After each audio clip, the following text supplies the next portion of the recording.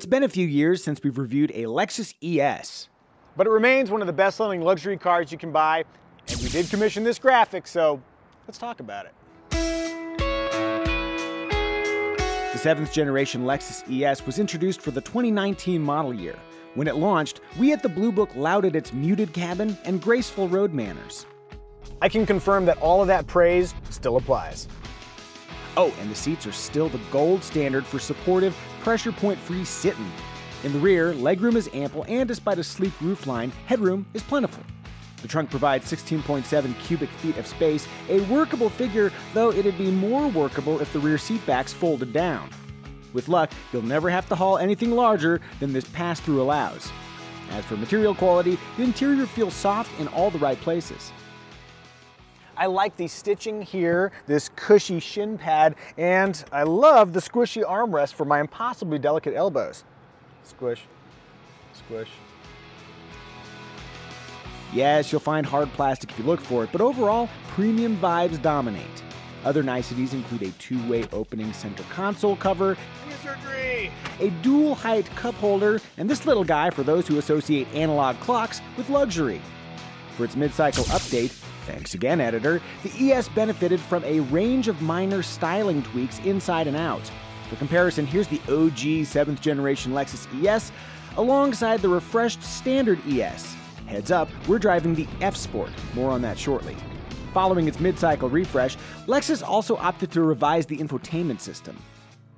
I'd previously complained that the ES's screen was not a touchscreen. Well, Lexus heard my lamentations and made it a touchscreen. They also moved it 4.3 inches closer to the driver. You can still use the remote touch interface down here if you want to control it and not touch the screen, but now you don't have to.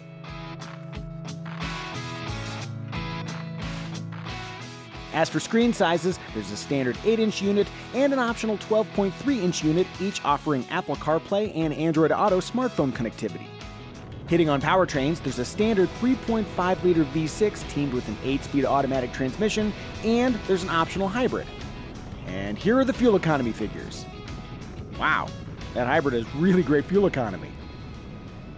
If you are interested in the hybrid though, just know that the brake pedal has that spongy, unnatural feel of hybrids that I thought we'd gotten rid of, but here it is. Now, something weird. For the same price you pay for a front wheel drive V6 ES350, you can also get a less powerful ES250 with a 2.5 liter four cylinder engine and all wheel drive. If you're willing to trade power for traction, now you have that choice. Filling out the price picture, for a little less than $41,000, not including destination charges, you can snag a base Lexus ES350 or ES250 all wheel drive featuring LED headlights and taillights, a moonroof, smart entry with push button start, and 10 way power front seats. Tack on an extra $1,100 if you'd rather drive the ES300H hybrid. And of course, you can ascend the Lexus ES trim ladder to unlock features like leather heated and ventilated seats, a power rear sunshade, a panoramic moonroof, a 17 speaker Mark Levinson audio system, a 360 degree camera system, and wireless phone charging. Choose the priciest ES300H Ultra Luxury trim, and you'll spend more than $51,000 to start. For folks who'd like a veneer of sportiness, the F Sport, like we're driving, adds sporty details inside and out and is offered with all three powertrains. Here's a side by side so you can compare the standard ES with the F Sport.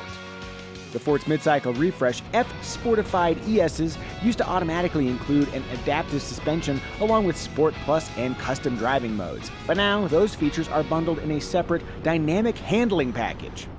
So if you want to look sporty without actually driving sportily, skipping those adaptive dampers can save you a couple of bucks.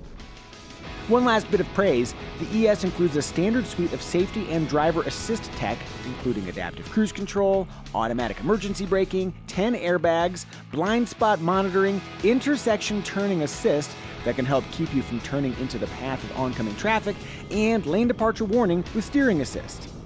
Let's see if I can stupidly vacate my lane. Lexus says no. If you're curious about ES alternatives, consider the less expensive Acura TLX and Cadillac CT5. You might also ponder the notably pricier Genesis G80 with its evocative style and a performance focused rear wheel drive platform. But among comparable luxury sedans, the Lexus ES has an advantage. It's a Lexus, offering the reliability and strong residual values that badge implies. It's also comfortable, stylish, and reasonably priced. If you want to know why Lexus sells so many ESs, there is your answer.